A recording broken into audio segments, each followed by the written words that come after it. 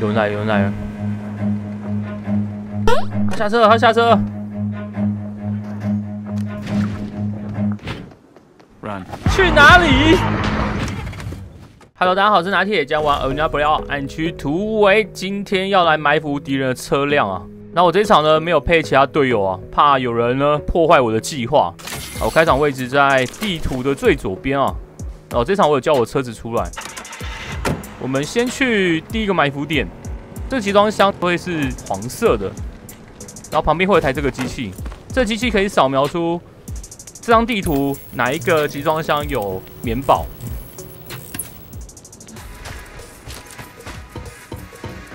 好，它扫描出来了，把牧场右边。OK，这边的东西我们可以走了。现在埋伏敌人其实还蛮多方式啊。等一下我们就要找个地方躲在集装箱旁边，所以我们车子不能被敌人看到。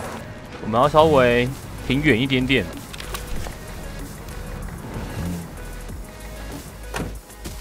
这台车哎、车还在，那表示保险箱应该还在。哎、全被开晚了，哇，来晚了，我们把它关起来吧。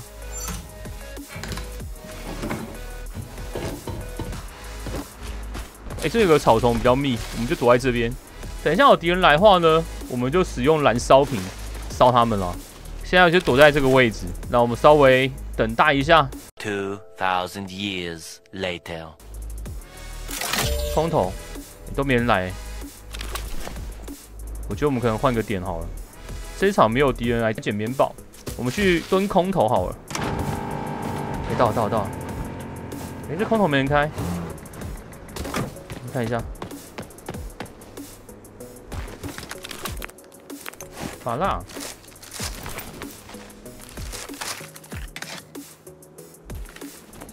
哦，金爆雕像。小金，好，我们一样把这关起来。刚刚妹妹蹲到人，我们换蹲这个，空投几率比较大啦。然后我们要把这个车子一样藏起来，我们藏在山坡上好了。只要敌人开车过来的时候不会看到我车子，他就不会有警觉性。这个矿区的部分，很多玩家基本上百分之九十九看到空投没人开，一定会开啊，因为空投有几率直接出大金。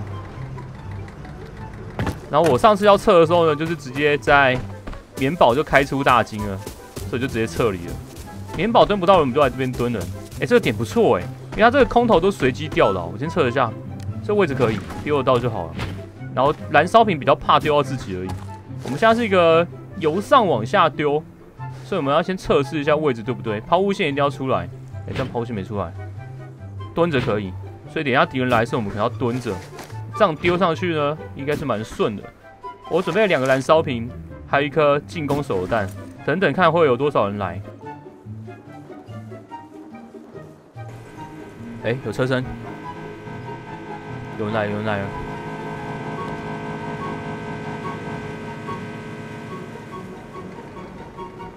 下车了，他下车了。我要等他上车一瞬间再丢。因为上车后呢，他就没地方跑了。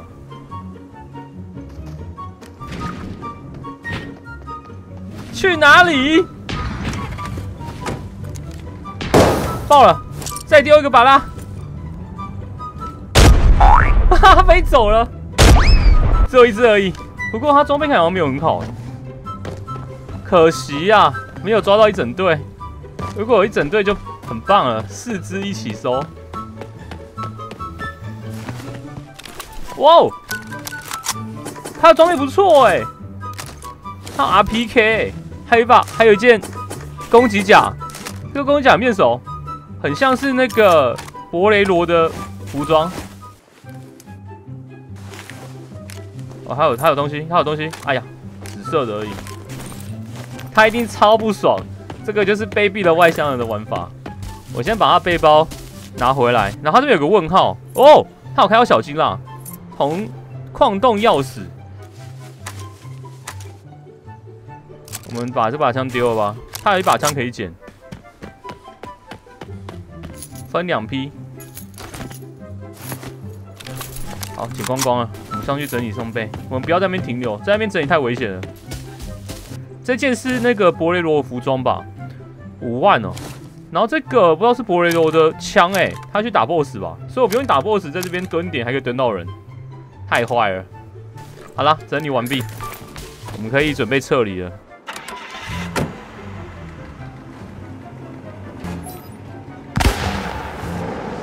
蹲好，蹲满，这场二十三万。第一个点没蹲到人，第二个空投点呢就蹲到人了，所以测试起来空投点比较容易蹲到敌人。然后他被我燃烧瓶烧到脚，所以他刚好像有趴地吧。然后我手榴弹丢出去，想说不要让有机会逃跑，所以人丢头植物都丢了，最后就把他给炸死了。这个装备坏掉呢，能不能卖呢？可以，可以卖四万四。然后我捡到一个小金，又开到一个小金一万五啊，矿洞钥匙。这个卖出去的话一万九一万八。还行啦，好啦，这场就分享一下外乡人的卑鄙玩法。总之就是呢，埋伏敌人的车辆很多方式啊，不管是你躲在草丛后面也好，总之就是要有个诱因。有时候可能敌人的车辆旁边有尸体啊，敌人也会下车捡，那你可以埋伏在旁边。空投目前测试是要敌人下车率最高的机会啊。然后再就是棉宝箱那些地方，或者是 BOSS 附近都可能会有玩家来。这时候呢，你只要去丢他的车辆，就有机会呢让他倒地，然后最后击杀他，拿他的装备。这集呢就分享到这边。如果大家喜欢那天影片，可以帮喜欢，持订阅我，打通知铃铛。也谢谢你的收看，我们下个影片见喽，拜拜。